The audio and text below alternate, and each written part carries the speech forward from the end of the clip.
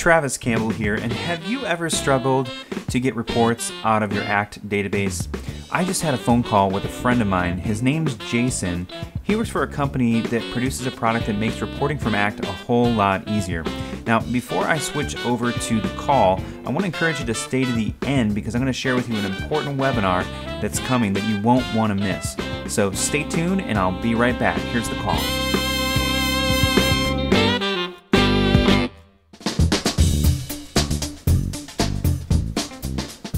Hi, this is Travis Campbell of ActBlogger.com speaking to you from Cleveland, Ohio, and I have uh, my friend's system actually is on the screen right now and is on the phone with me. Jason, are you there? Yes, I am. Jason, where are you dialing in from? Orlando, Florida. Orlando, Florida. Well, folks, I don't know about you, but I have interest measuring effectiveness of businesses, and that's often done with reports.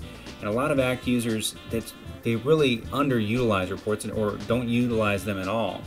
So when I turn people on to reports, they get excited about it, but they realize, wow, there's so much more that I need out of a report, and the canned reports that come with ACT just don't cut it. And then, then maybe they give it a try in, uh, in editing a report template, and they get to this screen and they see all these buttons, and it can be really, it can be intimidating. Uh, so they'll call me, and I'll put together a quote for a custom report, and it ends up being pretty expensive. And if they want to make changes to the report, that gives it gets even more expensive. I've known Jason for a while, and Jason works for a company that puts together a product that takes reporting really to the next level. Uh, Jason, you want to bring up uh, your product really quick and show a similar report? We'll display the data that you've asked for from ACT. If I want more information, maybe I want to know other history types on this report. Is there a way to do that? Can choose our filter. Again, here you're just double clicking. Let's say you wanted to see all results. Delete the result history from your filter. Preview the report. And now you have all the different result history types and what each individual record manager has accomplished during that time period. So based on sales rep, if I'm a sales manager, I can narrow down and see what activities have been done in a given time frame. Can. Okay, so people get excited about reports, right? They start, uh, they invest in reports, they get reports that make sense, but then sometimes people are just busy and they forget to run reports or they get uh, delayed or what have you. Um, how are you helping folks out that uh, that are sometimes forgetful like me? The unique feature is to go ahead and schedule that report. To schedule that report, it's a simple wizard. Let's say you want to run this particular report every Monday, Wednesday, and Friday and you want this report to go via email, select who you want to email this to. You can give the report whatever subject you would like to give. You can type in the email body and message. You click OK. Your last step is to enter in the login credentials for your Windows system. log my password and click Finish. Once you click Finish, you will write the scheduled report into the Windows scheduler and it will be run at the particular days and times that were selected. And that can come as a PDF, for example? Via email, it always comes via PDF.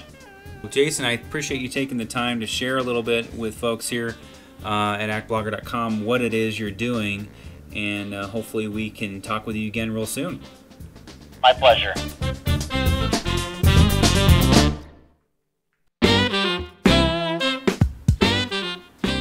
I've been so impressed with Jason's product and really enjoyed uh, the time savings that it's given me and my clients that I asked him if we could uh, put together a webinar.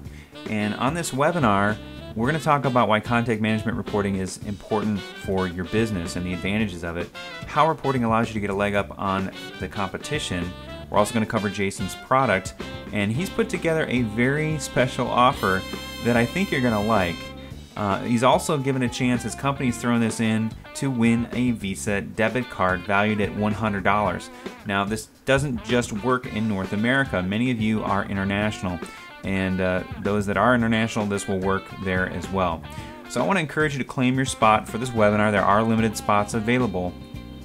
It's on Thursday, July 31st, 2008, and it's going to be at 3 p.m. Eastern, 12 p.m. Pacific and it's going to be on your phone. You just have to dial in and an internet connected computer, and it will last approximately 60 minutes. Now, I want to encourage you also uh, to give yourself some time early, I say 5 to 10 minutes, to set up the webinar software and dial in so that you don't miss out and you get your spot.